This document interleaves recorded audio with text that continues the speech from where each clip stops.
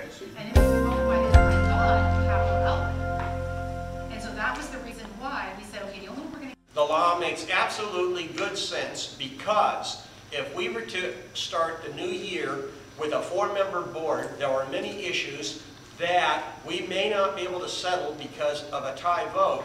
And worse, if two members of the board were absent, we would not even have a quorum and we would be not allowed to do business. I believe that's the statutory reason that we have to do this, not only because it makes sense, I was the one that suggested that we do it before it went to legal, and I did not know that legal was going to say, it's not just a good idea, it's the law, and there's a reason for it, and we're doing the right thing. Do I have a move? Move. Do I have a second? Second, anybody? No. Everyone wants to move? Nobody wants to obey the state I- law? As far as I'm concerned, we can wait until Oh, what December. am I thinking? What am I thinking? We have to, I, I'm, we're not moving it, moving it in to do this, to do the interviews? I'll second. Okay, there you go. Thank you, Mark. I'm like, what, is you remind her or what? God. Okay. Anyways, um, I'm gonna repeat the statement I did before, just in case you weren't here. Tonight, we have eight candidates. But Leona, What? in all seriousness, What? I'm only seconding in this process because no one else is. Yeah. We're under statutory requirement to pick a board member for the election. But I want to say for the record, I disagree with the process. I don't believe it's the current board that should be selecting these candidates. I believe it should be the newly constituted board that takes place on or about December 12th.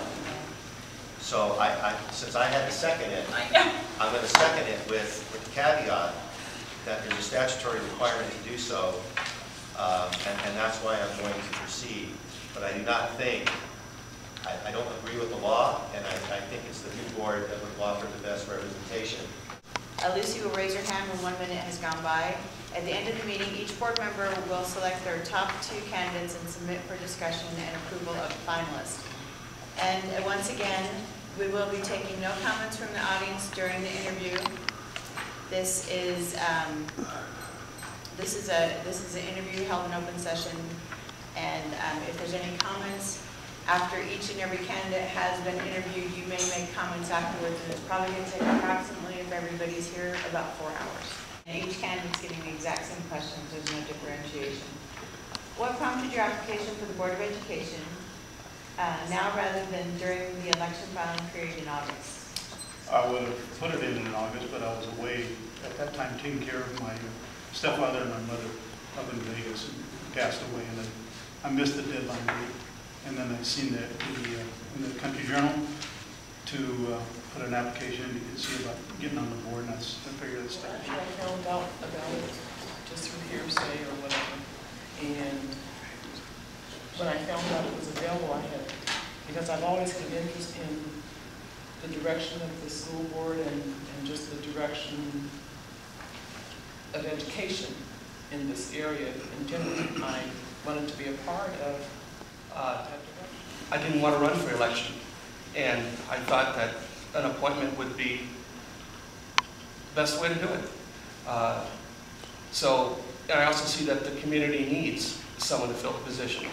So rather than uh, scramble with everyone else, now's the time to step forward when they have an opening, and it's also an opportunity for you, the most informed of the group, to choose who's best qualified.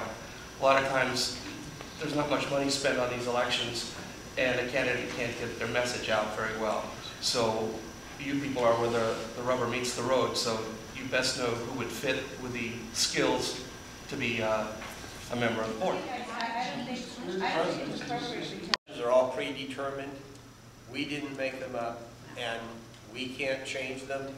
And she has the opportunity to respond if she would like to. And, uh, But I don't, otherwise we have to give all the other candidates the opportunity to submit a written statement. That's fine, that's fine.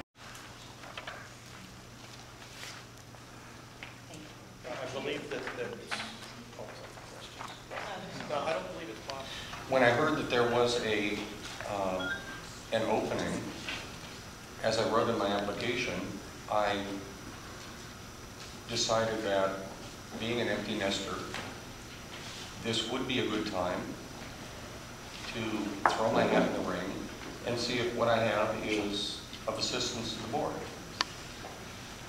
I've been a longtime resident, and my, I've had some concerns over the past. I have not uh, had the liberty through my business until now to, I think, put the time in that's required to do the job that you people have been doing, and I do now. Um, Particularly in my line of work, which is family law, I've dealt with school boards and IEPs and a number of educational institutions over the years, and this last year, for whatever reason, has turned into quite a slump in my business. And now I'm actually in a position where I've got the time and I think some abilities to assist the board in trying to deal with the issue. Um, My answer is, um, I have lived here in Acton for seven years. I have six children.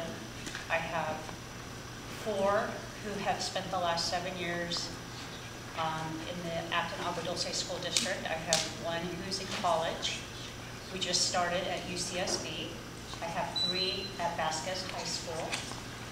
And I have two small children who will start um, in the district in probably three years, two years and three years. So I have a vested interest in the long-term viability and growth of the district. Um, Quite frankly, with six children, um, I kind of feel that now that they're older, I can catch my breath a little bit. Um, And I just felt that personally, it was a good time to be able for myself to invest what I know would be, um, you know, personal time on my part and, and make it worthwhile district. aware at the time that there was a, a- there was a, a request for candidates uh, to, to apply for the election process. And then, uh, once I noticed the, the uh, announcement in the Country Journal, I uh, contacted the school district, and they told me that this process was available. And um, so if, That's me. so if I'd known about that, I would have, I would have certainly um, applied the first chance that I found out about. There ought to be some closed session for you all to be able to speak about this. Can't be done? No, no, Not allowed. violation of Brown Act.